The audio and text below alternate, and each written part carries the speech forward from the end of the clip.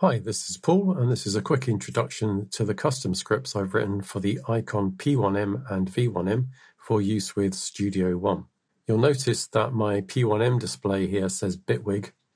This is because I've had to use the Bitwig setting in the firmware uh, in order to get the metering to work properly. That's just the controller setting though. I'm definitely connected to Studio One here, and these scripts do not work with Bitwig.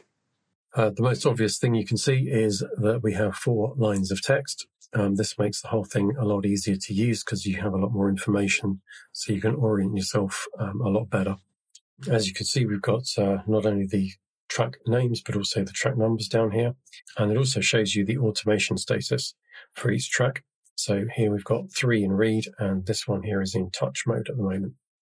Um, we've also got the track colors coming through from Studio One. And if we change, for example, the one on the bass DI, we can see as we sweep the color, it just changes instantly on the control surface.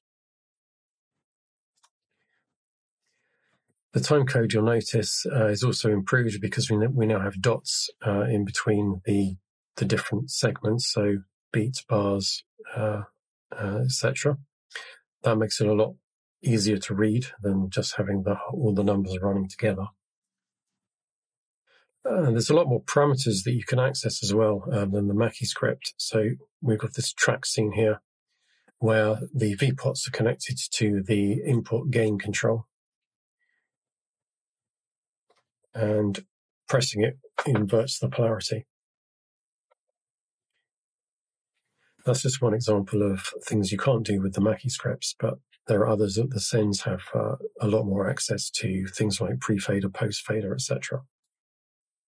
The metering uh, has been much improved. Um, the main uh, these are accurate to within 0.01 decibels, and the zero position has been moved into a much better position, and it's at the top of the orange segments. Uh, that's the way I've got it set up.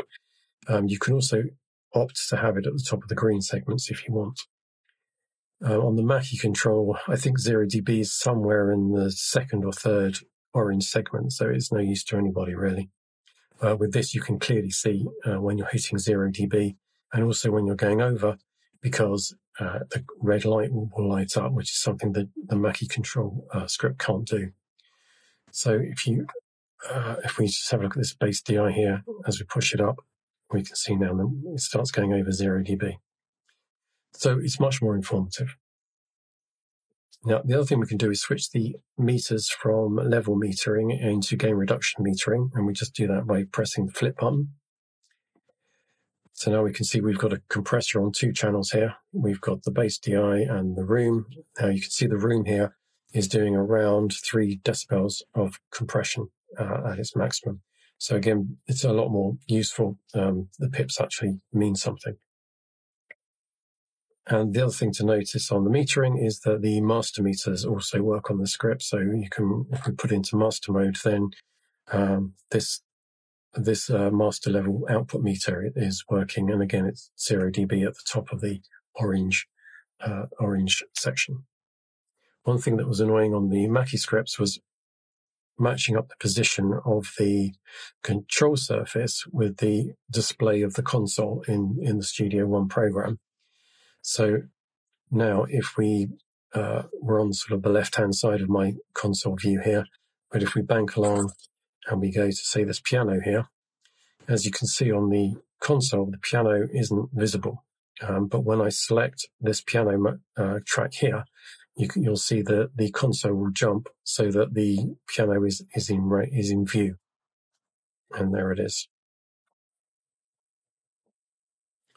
Now the opposite is also true, um, although you have to press a button on the on the console to get it to, to flip. So if we go back now, and uh, let's see, just we just go back to this snare drum here, and now we want to see that on the control surface. We can just press the locate button uh, which is there. And it immediately jumps to the correct bank, uh, which the snare is in, and you can see the select is lit there. So it's easily identifiable which is the selected track there. Another feature worth pointing out is the reset to default uh, feature. So on the VPOTs, anything that's connected to the VPOTs, you can you can reset to its default position by clicking it with the shift mode, mode engaged. There's two ways to get the shift active. You can either hold it down, you can see under my finger there, and then when you release it, it goes off. Or if you tap it, it'll latch on and you can tap it again to latch off. So if we, uh, let's mess around with this hi-hat input gain here, uh, to get that back to zero dB, activate shift and click it and it goes back to zero. Similarly with the faders, if we move this down, if you ever want the faders back to zero dB, shift and then tap and it goes back to zero and then take the shift off. Those are just some of the improvements I've made over the Mackie script. If you'd like to try the scripts for yourself, you can go to the forum and everything you need will be there. The link for that will be in the description. There's comprehensive documentation for installation and a user guide. And there's also video um, tutorials as well. The video tutorials go in depth into how to use each of these four scenes that I've devised. So I'll see you in the next videos. Thanks.